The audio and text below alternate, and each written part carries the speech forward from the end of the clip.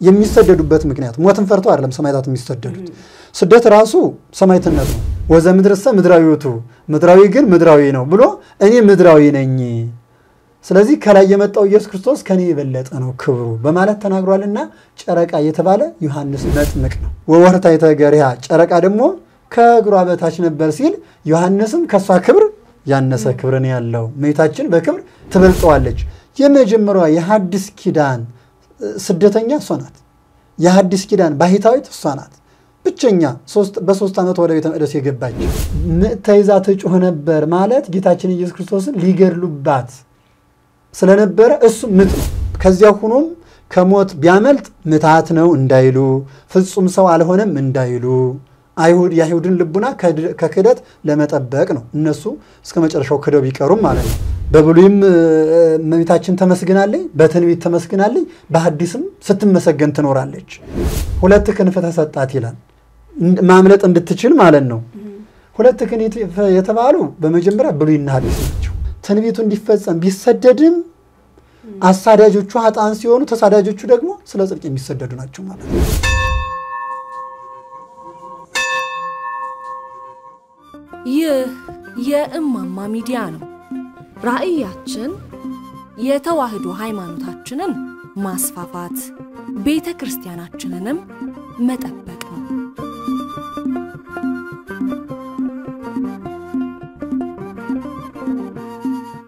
ሰላም ጤና ይስጥልኝ። የተከበራችሁ የእማማ ሚዲያ ውድ ተመልካቾቻችን፣ እንግዲህ እንደተለመደው ዘወትር ቅዳሜ በእማማ ሚዲያ ተዘጋጅቶ የሚቀርብላችሁ የጥያቄዎቻችሁ መልሶች የተሰኘው መርሃ ግብራችንን ይዘንላችሁ ቀርበናል።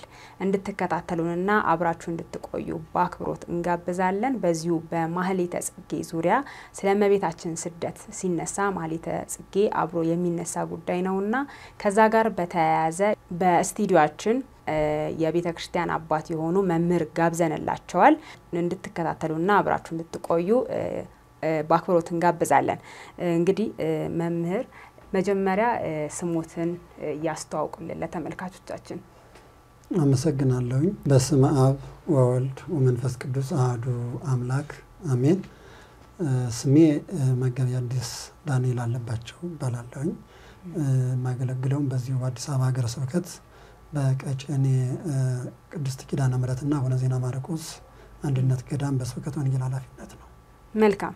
እኛም ጥሪያችንን አክብረው በስቱዲዮችን ስለተገኙ ለጥያቄዎቻችን መልስ ለመስጠት ፈቃደኛ ስለሆኑ ከልብ እናመሰግናለን።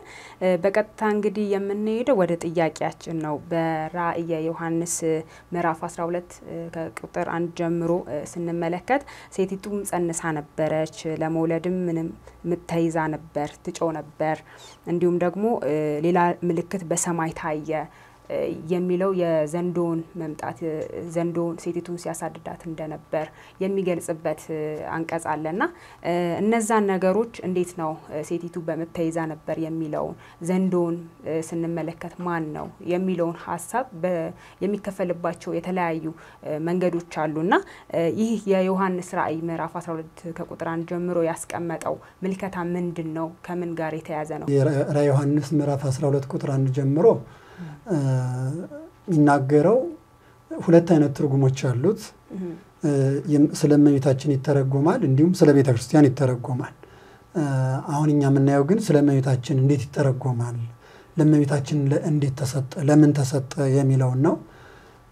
እዚያ ላይ ሲጀምር 12 ቁጥር አንድ ላይ በሰማይ ታላቅ ምልክት ታየ፣ በሴትን ትለብስ ፀሐይ ፀሐይን የተጎናጸፈች ሴት ተገልጣ ያያል። ወወርኅታይተ ገሪሃ ከእግሮቿ ስርም ደግሞ ጨረቃ ነበር ይላል።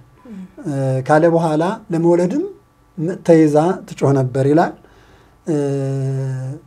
ወሶበ ወለደት እንደዚሁም ደግሞ በወለደች ጊዜ ቀይ አውሬ መጣ። ይህ አውሬ ልጇን ለመብላት ሲፈልግ ከእግዚአብሔር ሁለት ክንፍ ተሰጣትና እግዚአብሔር በወሰነላት ቦታ ሶስት ዓመት እስከ ስድስት ወር እንድትቀመጥ በዚያ ወደዛ ሄደች። አውሬው ደግሞ ስትሄድ እሷን ያሰጥምልኛል፣ ማይበል ሁኖ ይወስድልኛል ብሎ ካፉ ውሃ ወጣ። ያን ጊዜ ወሰረበት ይላል። ምድር ያንን ውሃውን ዋጠችው። እንደውም ወረዳአታ ምድር ለይእቲ ሴት ያችን ሴትዮ ምድሪቱ ረዳቻት ይላል። ምድሪቱ ረዳቻት ምን በማድረግ ያ ዘንዶ የተፋውን ውሃ በመዋጥ ማለት ነው። በመዋጥ ወደ ውስጥ በመውሰድ ረዳቻት። አሁን እዚህ ላይ ለያይልተን ትርጉሙን ለማየት ይቺ ሴት የተባለች ማናት የሚለውን ስናይ ሴት የተባለች ለማንም ለምንም አይሰጥም። በሰማይ ፀሐይን የተጎናጸፈች ሴት ሌላ ሴት የለችም። ትርጓሚያችን እንደሚያስረዳን ብሉይ ሐዲስንም በሚገባ ስንመለከት እንደሚነግረን እመቤታችን ቅድስት ድንግል ማርያም ናት። ሴት ብሎ የሚገልጣት እመቤታችን ሴት ስለሆነች ነው። ሌላ ሴት ማለት የስድብ ስም አይደለም። ሴት ከወንድ የተገኘች ስለሆነች ሴት ትባል ብሎ አዳም ከወገኑ ለተገኘች ለሔዋን ያዋጣላት ስም ስለሆነ እመቤታችን ሴት ናት እና እንደውም ሴት የሚለው ለእመቤታችን እንዴት ተሰጠ ሲባል አዎ ሴት ስለሆነች ነው። ግን በዘፍጥረት መጽሐፍ ምዕራፍ ሶስት ላይ ከሴቲቱ የሚወለደው የእባቡን ራስ ይቀጠቅጣል ብሎ እግዚአብሔር ራሱ ተናግሮ ነበረ። ያ እንደተፈጸመ ለማስረዳት ደግሞ ቅዱስ ጳውሎስ በገላትያ መልእክቱ ምዕራፍ አራት ቁጥር አራት ላይ የዘመኑ ፍጻሜ በደረሰ ጊዜ እግዚአብሔር አንድያ ልጁን ሰደደ ከሴትም ተወለደ ብሎ ከሴቲቱ የሚወለደው የተባለው ኢየሱስ ክርስቶስ እንደሆነ ሴት የተባለችው ደግሞ እመቤታችን እንደሆነች ሐዋርያው ቅዱስ ጳውሎስ ተርጉሞ ነግሮናል። ስለዚህ በራዕየ ዮሐንስም ዮሐንስም የሚነግረን ይቺ ሴት የተባለች እመቤታችን ቅድስት ድንግል ማርያም ነው። ለመውለድ ተይዛ ነበር ሲል እመቤታችን በሌሎቹ ሴቶች ልማድ አነጋገር ነው የሚናገርላት እንጂ እመቤታችን እንደ ሌሎቹ ሴቶች ምጥ የለባትም፣ ድካም የለባትም። እሷን ሌሎችን ሴቶች የሚሰማቸው በወሊድ ጊዜ የሚሰማቸው ስሜት የለባትም ስትወልድ ጌታችን ኢየሱስ ክርስቶስን። ምክንያቱም በድንግልና ነው የጸነሰችው፣ በድንግልና ነው የወለደችው። እንደውም በድንግልና ተጸንሶ በድንግልና መወለዱ የርቀቱንም ስራ ያሳያል ይላል። በሃይማኖተ አበው ሊቃውንቱ ይህንን ሲያስቀምጡ ረቂቅ ግዙፍ ስጋን ቢዋሃድም ረቂቅ አምላክ ረቂቁ ግዙፍ ግዙፉ ረቂቅ የሆነ አምላክ ስለሆነ ስለዚህ በድንግልና ሲወለድ ማኅተመ ድንግልናዋ ያልተፈታው ረቂቅ አምላክ መሆኑን ለማስረዳትም ጭምር ነው ይላል እና በሴቶች በሌሎች ሴቶች ልማድ ነው ራእዩን የሚገልጥለት። ነገር ግን እዚያ ላይ ለመውለድ ተይዛ ትጮህ ነበር ሲል ጌታችን ኢየሱስ ክርስቶስን በወለደች ጊዜ አውሬ የተባለ ዲያብሎስ በሄሮድስ አድሮ ልጇን ለመብላት ነው የሚለው ለመግደል ማለት ነው። ለመግደል በሄሮድስ አድሮ ጭፍሮቹን በሰደደ ጊዜ እመቤታችን ልጄን ይገድሉብኛል ብላ ጭንቅ ይዟት ነበረ። እሱን ነው ተጨንቃ ነበር ትጮህ ነበር የሚለን ማለት ነው። ምክንያቱም በድንግልና ጸንሳ በድንግልና የወለደችው ልጇን ሄሮድስ ሊያስገድለው ነው። በዚህ ጊዜ በጭንቅ ውስጥ ነበረችው። ተይዛ ትጮህ ነበር ሲል መድኃኔ ዓለም ኢየሱስ ክርስቶስን ልጇን ሊገሉባት በሄሮድስ አድሮ ዲያብሎስ ልጇን ሊያስገድልባት ስለነበረ በዚህ ምክንያት ትጮሃለች ማለት አዝናለች፣ አልቅሳለች። እመቤታችን በስደቷ ጊዜ ብዙ ጭንቅ ነገር ደርሶባታል። ወታደሮቹ ይዙኛል በማለት የተጨነቀችው ጭንቀት አንዱ ነው። እንደገና ደግሞ መንገድ ላይ ሽፍቶች አግኝተው ሁለት ሽፍቶች አግኝተዋት ልብሷን የጌታችን የክርስቶስን ልብስና የእነሱንም የለበሱትን ልብስ ቀምተው ሄደው መንገድ ላይ አለፍ ብለው ቆመው ሲማከሩ አንደኛው ራርቶ ይቺ ሴት ከአዝማደ ነገሥት ከወገን ትመስለኛለች፣ ይህም ይህም ልጅ ከደቂቀ ነቢያት አንዱ ነው፣ እባክህ ልብሳቸውን እንመልስላቸው ብሎ አንዱ ሲናገር ቁሞ ሲማከሩ እመቤታችን ሰምታ እንዴት ሌባ ወይም ወንበዴ የቀማውን ቀምቶ ይሄዳል እንጂ ቁሞ ይማከራል ብላ ያን ጊዜ ምርር ብላ አልቅሳለች። እንደውም ታቅፋው ነበርና ጌታችን ክርስቶስን ዓይኗን ከዓይኗ አድርጋ ምርር ብላ አልቅሳለች ይላል። ስለዚህ ተይዛ ትጮህ ነበር ማለት ጌታችን ኢየሱስ ክርስቶስን ሊገድሉባት ስለነበረ እሱ ምጥ ነው፣ ከምጥም በላይ ነው። በድንግልና ጸንሳ በድንግልና የወለደችውም አምላክ መሆኑንም ደግሞ የምታውቅ ሌሎቹ ዮሴፍ አያውቅም እኮ እስከ መጨረሻ አምላክነቱን እሷ ስትነግረው ነው እንጂ አልተረዳትም ነበረ። ብዙ ጥያቄዎች ነበሩበት። በሉቃስ ወንጌል ምዕራፍ ሁለት ላይም እኔና አባትህ በቤተ መቅደስ በዓል አክብረው ሲመለሱ ጌታችን ኢየሱስ ክርስቶስ እዛው በቤተ መቅደስ ቀርቶ ነበረ። ሶስት ቀን ሙሉ ሲፈልጉት አጥተውት ተመልሰው ወደ ቤተ መቅደስ ሄደው በፈለጉት ጊዜ በዛ በሊቃውንቱ መካከል ቁጭ ብሎ ሲጠይቃቸው ሲመልስላቸው አገኙት እና እመቤታችን እኔና አባትህ ስንፈልግህ ልጅ ሆይ ለምን አደከምከን? ለምን አስጨነከን? ስትለው እንዴ በአባቴ ቤት እንድኖር አታውቁምን? አለ። ይህን ሲተረጉሙ መተርጉማን እሷ ታውቃለች የዮሴፍን አለማወቅ ለማስረዳት ነው ብለዋል። እና አምላክ መሆኑን የምታውቅ በድንግልና ጸንሳ በድንግልና የወለደችው ልጇን ሊገድሉባት ሲመጡ ይሄ ምጥ ተብሎ ተገልጧል። ምጥ ይዟት ነበረ የሚለው ይሄ ነው አንዱ ማለት ነው። ሌላው ደግሞ ፀሐይን ተጎናጽፋ ነበረ ሲል ፀሐይ ኢየሱስ ክርስቶስ ነው። ፀሐይ የጽድቅ ኢየሱስ ክርስቶስ ይለዋል። ጌታችን ኢየሱስ ክርስቶስ ፀሐይ ነው። ዓለምን ያበራ ለዓለም ብርሃን የሆነ ፀሐይ የጽድቅ ስለሆነ እሱን ወልዳለች ለማለት ነው። ተጎናጽፋለች ማለት እሱ ከስጋዋ ስጋ ከነፍሷ ነፍስ ነስቶ የእሷን ስጋ የእሷን ነፍስ ነስቶ ስለተወለደ ተጎናጽፈዋለች ብሎ በራዩ ገልጦልናል። ፀሐይ የተባለ ኢየሱስ ክርስቶስ ነው። ጨረቃ የተባለ ደግሞ ዮሐንስ መጥምቅ ነው። ጨረቃ የጨረቃ ብርሃን ከፀሐይ ብርሃን ያነሰ ነው። ዮሐንስም እኔ ከሱ አንሳለሁኝ እንደውም የእግሩን ጫማ መፍታት እንኳን አይቻለኝም ብሎ የዮሐንስ ክብር ከጌታችን ከኢየሱስ ክርስቶስ ክብር ያነሰ መሆኑን ራሱ ዮሐንስ መጥምቅ ስለተናገረ ጨረቃ የተባለ ዮሐንስ መጥምቅ ነው ብለው አባቶቻችን ተርጉመዋል። ለምን ጨረቃ አለው? ጨረቃ ከፀሐይ ብርሃን ብርሃኑ ያንሳል። ዮሐንስም ከጌታችን ከኢየሱስ ክርስቶስ ክብር ያነሰ ክብር ስላለው፣ ምክንያቱም እሱ ፍጡር ነው፣ ጌታችን ክርስቶስ አምላክ ነው። እሱም ራሱ እንዲህ ብሏል በዮሐንስ ወንጌል ምዕራፍ ሶስት ላይ ሙሽራ ያለችው እሱ ሙሽራ ነው ካለ በኋላ ሚዜው ግን የሙሽሮቹን ሙሽራው ለሙሽራይቱ የሚነግረውን የሚነግራትን ድምፅ እየሰማ ሲነጋገሩ እርስ በርሳቸው እየሰማ ደስ ይለዋል ካለ በኋላ እስመ ዘእምላዕሉ መጻ መልዕልተ ኩሉ ውእቱ ከላይ የመጣው የሁሉ በላይ ነው። ወዘ ምድርሰ ምድራዊ ውእቱ ምድራዊ ግን ምድራዊ ነው ብሎ እኔ ምድራዊ ነኝ፣ ስለዚህ ከላይ የመጣው ኢየሱስ ክርስቶስ ከኔ የበለጠ ነው ክብሩ በማለት ተናግሯልና ጨረቃ የተባለ ዮሐንስ መጥምቅ ነው። ለምን ነው ከእግሯ በታይ ለምን ሆነ አለ ሲል የዮሐንስ ክብር ከእመቤታችንም ክብር በታይ ነው። ምክንያቱም በክብር እመቤታችን ከሌሎቹ ፍጥራን ሁሉ እሷ የበላይ ናት። ክብሯ መትሕተ ፈጣሪ መልዕልተ ፍጡራን ነው የሚላት ከፈጣሪ በታች ከፍጡራን በላይ ስለሆነ ዮሐንስ መጥምቅን የሚበልጠው ከሌሎቹ የለም። አሁን እዚህ ላይ ሊያስረዳን የፈለገው ዮሐንስ ሲገልጥለት ዮሐንስ መጥምቅን የሚበልጥ ሴቶች ከወለዷቸው ሰዎች የለም። በማቴዎስ ወንጌል ምዕራፍ 11 ቁጥር 11 ላይ አልቦ ዘአብዮ አማን አማን እብለክሙ አልቦ ዘአብዮ ለዮሐንስ እምትውልደ አንስት ኢተንሳ ዘአብዮ ለዮሐንስ መጥምቅ እምትውልደ አንስት ሴቶች ከወለዷቸው ዮሐንስ መጥምቅን የሚበልጠው እንዳልተነሳ እውነት ብዬ ነግራችኋለሁ ብሏል። ስለዚህ ዮሐንስ መጥምቅን የሚበልጠው የለም። ነገር ግን እመቤታችን ትበልጠዋለች። ለዚህ ነው ወወርታ የተገሪያ ጨረቃ ደግሞ ከእግሯ በታች ነበር ሲል ዮሐንስም ከእሷ ክብር ያነሰ ክብርን ያለው እመቤታችን በክብር ትበልጠዋለች፣ ሌሎችን ግን እሱ ይበልጣቸዋል ለማለት ነው። ስለዚህ አውሬው ደግሞ ዲያብሎስ ነው። እመቤታችን ጌታችን ክርስቶስን በወለደች ጊዜ አውሬው ዲያብሎስ በሄሮድስ አድሮ እመቤታችንን ጌታችን ኢየሱስ ክርስቶስን ሊበላ ልጇን ሊበላ አይደለም ይላል፣ ሊገድል ሊያስገድል መጣ። በዚህ ጊዜ እመቤታችን ተሰደደች፣ ሁለት ክንፍ ተሰጣት ይላል። ማምለጥ እንድትችል ማለት ነው። ሁለት ክንፍ የተባሉ በመጀመሪያ ብሉይና ሐዲስ ናቸው። በብሉይም እመቤታችን ተመስግናለች፣ በትንቢት ተመስግናለች፣ በሐዲስም ስትመሰገን ትኖራለች። ዋናው ግን እመቤታችን ድንግል በክሌ ናት።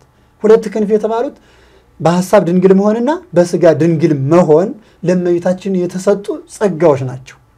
ሁለት ክንፍ ተሰጣት፣ ድንግልና ስጋና ድንግልና ነፍስ። እነዚህ ድንግልና ስጋና ድንግልና ነፍስ ስለተሰጧት በእነዚህ ጸጋዎች ዲያብሎስ ሊደርስባት አልቻለም እና ሶስት ዓመት ከስድስት ወር ወደምትጠበቅበት ወደዛ ገሰገሰች ነው የሚለን። ሄደች፣ በዛ እግዚአብሔር እንድትጠበቅ አደረገ ነው የሚል ወደዛ እየሄደች ሳለ ይሄ አውሬው እመቤታችንን ያሰጥምልኛል ወይም ማይበል ሁኖ ይወስድልኛል በማለት ካፉ ውሃ ፈሰሰ ይላል። ያን ጊዜ ወሰረበቶ ምድር ያንን ውሃውን ምድሪቱ ዋጠችው ይላል። ዋጠችው የተባለው ምንድን ነው? ዲያብሎስ እሷን ሊያስገድል ሰራዊቱን መስደዱ ነው። ሰራዊቱን በሄሮድስ አድሮ የሰራዊቱን ሲሰድ ነው። ይህ ማይበል ሞገድ የተባለ ማይበል ሞገድ በመጽሐፍ ቅዱስ ትርጓሜ ብዝሃ ሰራዊት የሰራዊትን ብዛት ነው የሚገልጥልን። አሁን በሄሮድስ አደረና እንዳውም እኮ በህልሙ ያንተን መንግስት የኔንም መንግስት የሚቀማ በቤተልሔም ሕፃን ተወልዷልና አስገድል ብሎ ነው በህልሙ የነገረው ለሄሮድስ። ይህንን ሲሰማ ወዲያውኑ እሱ ደግሞ ሰራዊቱን ላከ ማለት ነው። ሰራዊቱ በውሃው ነው የተመሰለ። ሄሮድስ ተፋ። ጥፋት ብዙ ጊዜ ካፍ የሚወጣ ነገር ሰውን የሚጎዳ ነው። ሰውን የሚጎዳ ነገር ደግሞ ምንድነው? በሄሮድስ አድሮ እሱ ያደረገው ሰራዊቱን መስደድ ነው። ሰራዊቱን ሰደደ። ውሃዎች የተባሉት ሰራዊቱ ናቸው እና እነዚያ ሰራዊቱ ያንን ውሃውን ምድሪቱ ዋጠቸው ነው አይደለም የሚለን። ሰራዊቱን እመቤታችንን ማግኘት አልቻሉ። እነሱ ሰራዊቱ ተከትለው ሄዱ። ሊደርሱባቸው ባሉ ጊዜ እንደውም በመንገድ ላይ በነገረ ማርያም ተጽፎ እንደምናነበው ሾላ ነበረች። ደረሱባቸው ደርሰውባቸዋል ሰራዊቱ። በዚህ ጊዜ እመቤታችን ይህን ያህል መንገድ መመታቴ ልጅን ከሞት ላላድን ነው ብላ ምርር ብላ ስታለቅስ ጌታችን ኢየሱስ ክርስቶስ በጣቱ ያችን ሾላይቱን ባረካት። ሲባርካት እንደ ቤት ሆነችላቸው ነው የሚለው። እዚያች ገቡና እንደውም ስንቃቸውን የሚጭኑበት አህያም ነበራቸው። አህያውም እመቤታችንም ሰሎሜም ዮሴፍም እዚያች ውስጥ ገቡና መልሳ ተዘጋች ይላል። ሾላይቱ እንደነበረችው ሆነ። አህያው ሲያናፋ በውስጡ ሆኖ ሰራዊቱ ይሰማሉ። ሾላውን እየዞሩ ሲያደምጡ ይሰማሉ። ነገር ግን ሾላው ውስጥ ይሆናሉ ብለው ማሰብ አልቻሉ። ስለዚህ ሰራዊቱ ተመለሱ ተመልሰዋል። በዚህ ምክንያት ነው ምድሪቱ ረዳቻት ማለት ሾላይቱ በምድሪቱ ላይ የበቀለች ሾላይቱም ረዳቻት። ምድሪቱም እነዚህ ሰራዊቱ እመቤታችንን አግኝተው ልጇን እንዳይገሉባት አደረጉ። ምድር በማለት ሲገልጠው አሁን ምድሪቱ ረዳቻት በማለት ሲገልጠው ዮሐንስ ምድር ላይ የተገኙ ነገሮች ሁሉ ለእመቤታችን ረድተዋል። ከሰው ውጭ በዚያ ሰዓት ያረዳ የለም። እውነት ለመናገር አሁን ሾላይቱ ተከፍታ እኮ እንደ ቤት ስትሆናቸው ረዳች ማለት ነው። በምድሪቱ ላይ የበቀለች ስለሆነ ሾላይቱን በምድር ነው የሚነግረን። ሾላይቱ ረዳቻት ብሎ አልነገረንም፣ ምድሪቱ ነው የሚለን። ምክንያቱም ሾላይቱ ያለችው የት ላይ ነው? ምድር ላይ ስለሆነ ማለት ነው። ስለዚህ ምድሪቱ ረዳቻት ሲል ሰራዊቱ እንዳያገኟት አደረገች። ያንን ውሃውን ምድሪቱ ዋጠችው ምሳሌ ስለሆነ ሰራዊቱ ደግሞ በሾላይቱ ውስጥ ተሸሽገው እነሱ ሰራዊቱ ሳያገኟት ተመለሱ። ከዚህ በኋላ እንግዲህ ሶስት ዓመት ከሶስት ወር ወደምትጠበቅበት ሄደች ይላል። ከዚያ መጣች። መጻሕፍት እንደሚነግሩን ወደ ግብፅ መጣች፣ ወደ ኢትዮጵያ መጣች። በግብፅና በኢትዮጵያ አድባራት እና ገዳማት እየተዘዋወረች በተራራው በዋሻው በፍርክታው እየተዘዋወረች ሶስት ዓመት ከሶስት ወር በዚያ ቆየች። እመቤታችን የቆየችው በማሕሌተ ጽጌ እንደተነገረ ነቢራ በግብፅ አርብዓ ወክሌተ አውርሃ ይላል። በግብፅ እና በኢትዮጵያ አርባ ሁለት ወር ተቀምጣ እመቤታችን ተመለሰች ይላል። አርባ ሁለት ወርን ወደ ዓመት ስንወስደው ሶስት ዓመት ከስድስት ወር ነው የሚሆነው።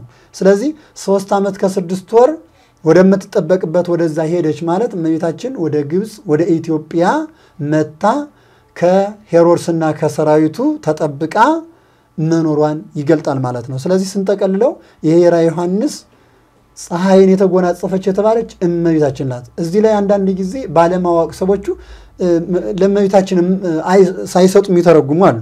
ግን ለእመቤታችን ካልተሰጠ እንደው በትክክለኛ አይምሮ ላለው ሰው ምን ብሎ ይተረጉመዋል? በሰማይ ፀሐይን የተጎናጸፈች ሴት አለች? የለችም። ጨረቃ ከበታቿ የሆኑላት ሴት አለች? የለችም። ያቺ ማናት ከተባለ እመቤታችን ናት። በሁለተኛ ትርጉም ቤተ ክርስቲያን ናት። ቤተ ክርስቲያን ልክ እንደ እመቤታችን ስደት ደርሶባታል። አሁንም እየተሰደደች ነው። ቤተ ክርስቲያን ሁልጊዜም ትሰደዳለች። ልጇን ሊበላ ማለት ምዕመናንን ለመግደል ከሃዲያኑ ሁልጊዜም ይቋምጣሉ፣ ይሮጣሉ። ይሄ ያስረዳናል። ነገር ግን በዋናነት እመቤታችንን የሚተረጉም ነው ማለት ነው። መጽሐፉ ግን በዛን ሰዓት የነበረው ሰሎሜ እንዲሁም ደግሞ አረጋዊ ዮሴፍና እመቤታችን ነበሩ አብረው የተሰደዱት እና በዛን ሰዓት ዮሐንስ አለመኖሩን እንዲሁም ደግሞ እያንዳንዱ ትእዛዝ መልአኩም ልኮ ሲነግረው ለዮሴፍ ሴቲቱን ይዘህ ሂድ፣ ሽሽ፣ ወደ ግብጽ ሽሽ እያለ ነበረ መልአኩ ሲነግረው የነበረው እና በቀጥታ ለእመቤታችን ወይም ደግሞ ስለ ድንግል ማርያም ድንግል ማርያምን እየጠቀሰ መናገር አይችልም ነበር መጽሐፉ። ከምንስ ተነስተው ሰው ሊረዳው ይችላል ይህንን አግባብ? መልካም ነው። ለምንድን ነው ሴት ብሎ የተናገረ እመቤታችን ብሎ ማርያም ወይም ድንግል ብሎ ለምን አልተናገረም ካልን በብሉይ ኪዳን የተነገረው ቀጥታ በእመቤታችን እንደተፈጸመ ለማሳየት ነው። አሁን ብዙ ጊዜ ከሴት ባይል ኖሮ እመቤታችንን ኃይለ አርያማዊት ምድራዊ ሰው አይደለችም፣ እግዚአብሔር ከምድራዊት ሴት አይወለድም ብለው ከሃዲያን እንዳይነሱ ያንን ለመያዝ ነው። አንደኛ ብሉይ ኪዳን በብሉይ ኪዳን ከሴቲቱ የሚወለደው የእባቡን ራስ ይቀጠቀጣል ተብሏል። ይሄ በዚህ በራዕየ ዮሐንስ ዘንዶ ተብሎ የተገለጠው እኮ በዘፍጥረት መጽሐፍ ምዕራፍ ሶስት ላይ እባብ ተብሎ ተገልጧል። ያ እባቡ ደግሞ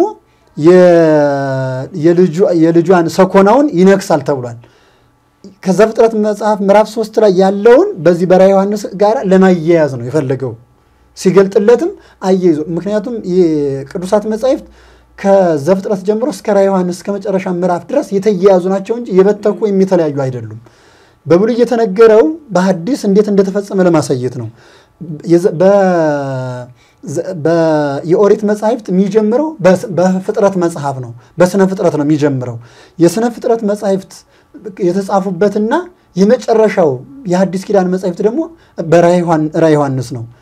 እሱና ያኛው ይመሳሰላሉ። በዚያ በዘፍጥረት መጽሐፍ የሕይወት ዛፍ አለ፣ በዚህኛውም የሕይወት ዛፍ አለ። እዚያኛው ላይ የሞት ዛፍ አለ፣ እዚህም ደግሞ ሲኦል አለ። ሲኦልን ያነጻጽራል የሞት ዛፍ የተባለው።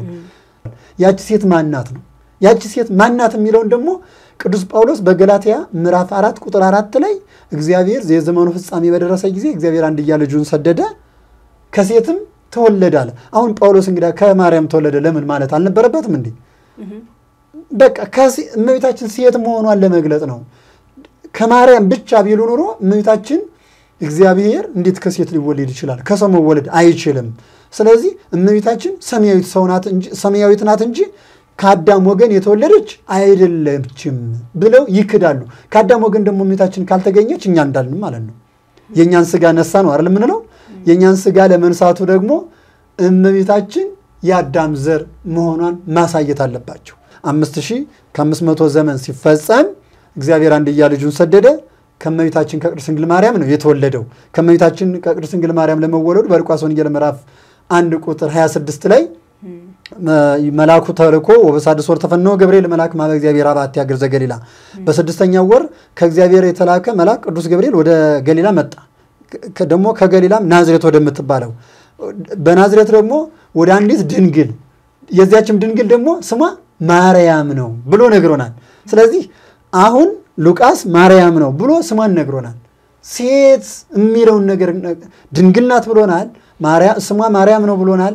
ነገር ግን ሴት መሆኗን ካልነገረን አይ ይችማ ሰማያዊት ናት ወደ ማለት ይወስዳል። ስለዚህ የሰውን ልቡና ከክህደት ወደ ክህደት እንዳይሄድ ለመደገፍ ለማጽናት ጸንቶ በሃይማኖቱ እንዲኖር ለማድረግ በዘፍጥረት ሶስት ላይ እግዚአብሔር ከሴቲቱ የሚወለደው የእባቡን ራስ ይቀጠቅጣል ያለውን እባብ ያለውን እዛ እዚህ ደግሞ ዘንዶ አለና ገለጠና ያ ዘንዶ የተባለው ደግሞ ሴቲቱን ሊበላ ብሎ ገለጠልን። ስለዚህ እመቤታችን ቀጥታ እመቤታችን መሆኑን የሚነግረን ዘፍጥረት ሶስት ላይ ከሴቲቱ የሚወለደው የእባቡን ራስ ይቀጠቅጣል አለ።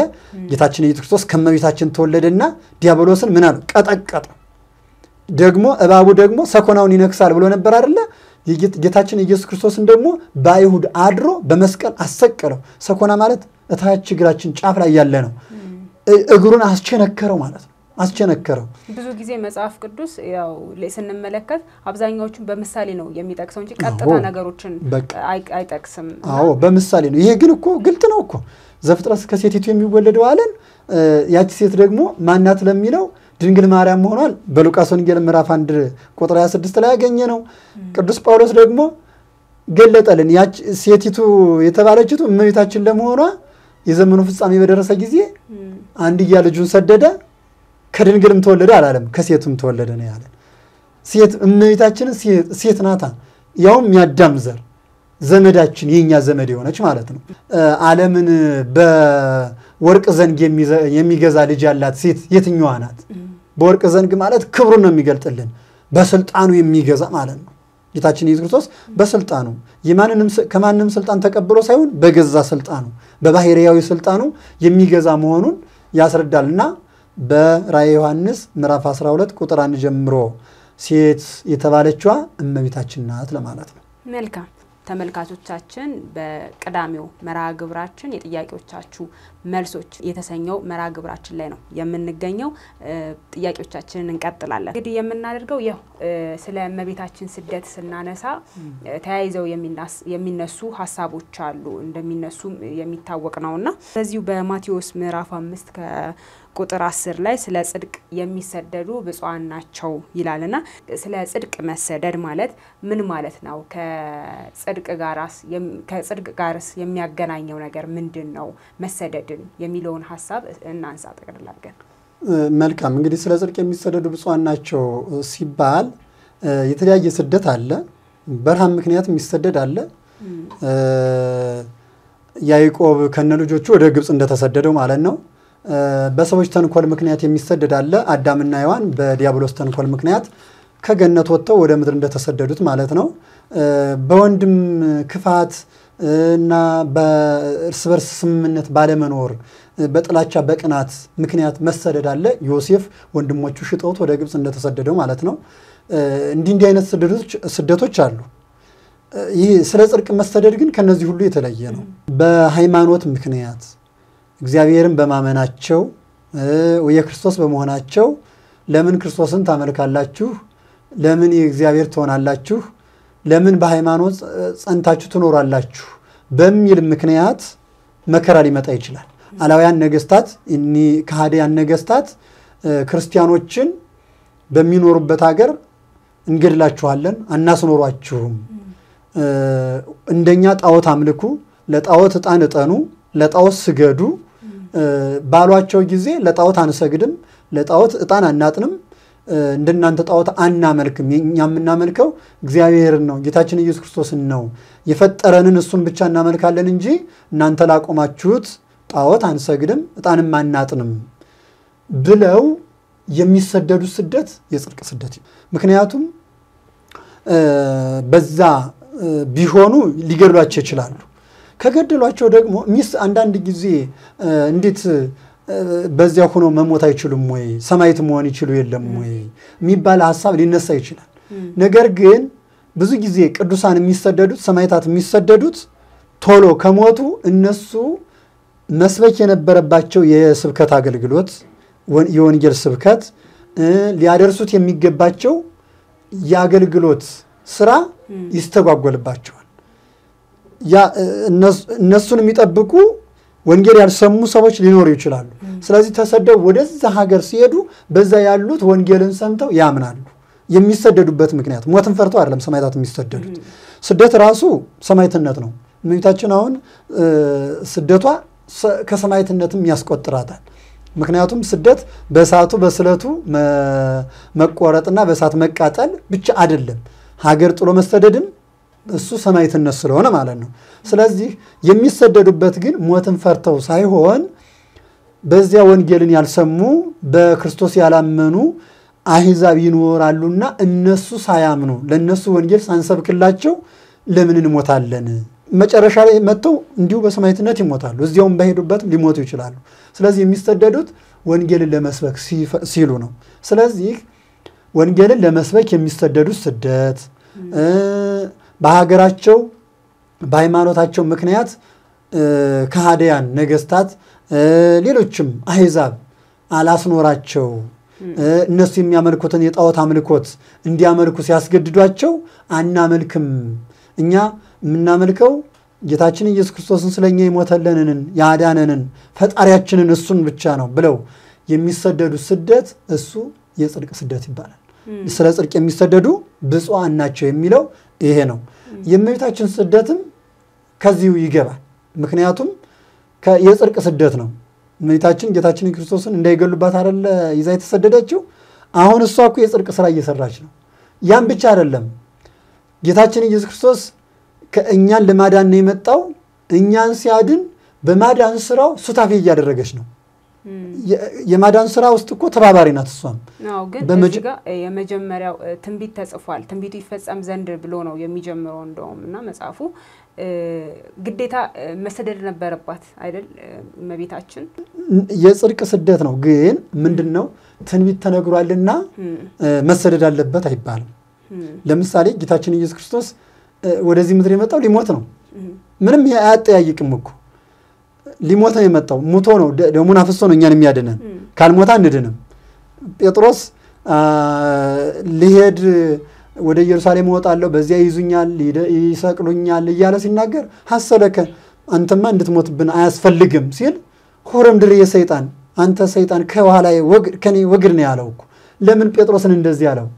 መሞት አለበት ግን ይሞታል ተብሎ እሱን መግደል ገዳዮቹ ከኃጢአተኛነት አያወጣቸው።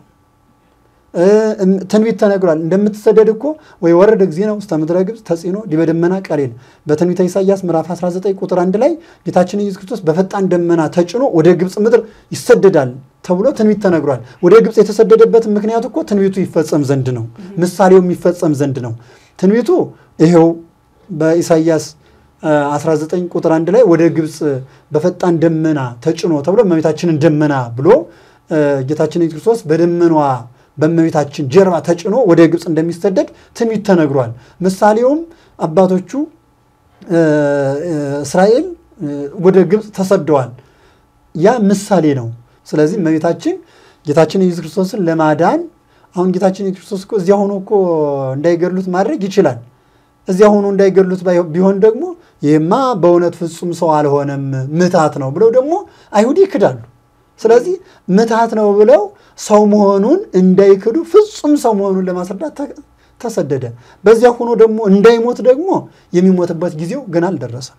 33 ዓመት ቆይቶ በመስቀል ተሰቅሎ ነው እንጂ የሚሞተው በሰይፍ ተቆርጦ አይደለም። ትንቢት የተነገረለት በመስቀል ተሰቅሎ ይሞታል እንጂ በሰይፍ ተሰይፎ ይሞታል አይደለም። ትንቢቱ እንዲፈጸም ከዚያ ሆኖም ከሞት ቢያመልጥ ምትሃት ነው እንዳይሉ፣ ፍጹም ሰው አልሆነም እንዳይሉ አይሁድ የአይሁድን ልቡና ከክህደት ለመጠበቅ ነው። እነሱ እስከ መጨረሻው ክደው ቢቀሩም ማለት ነው። ትንቢቱ እንዲፈጸም ቢሰደድም አሳዳጆቹ ኃጥአን ሲሆኑ ተሳዳጆቹ ደግሞ ስለ ጽድቅ የሚሰደዱ ናቸው ማለት ነው። እመቤታችን ለሰማዕታት ስደትን ባርካ የሰጠች ስለሆነች የሰማዕታት እናታቸው ይላታል። የመጀመሪያዋ የሐዲስ ኪዳን ስደተኛ እሷ ናት። የሐዲስ ኪዳን ባሕታዊት እሷ ናት። ብቸኛ በሶስት ዓመት ወደ ቤተ መቅደስ የገባች የ15 ዓመት ብላቴና ሆና በድንግልና ጽንሳ በድንግልና የወለደችውን ልጇን እንኳን በአግባቡ እንድታሳድግ ያልተፈቀደላት ስደተኛ ሰማዕት የመጀመሪያዋ ሰማዕት ናት እመቤታችን።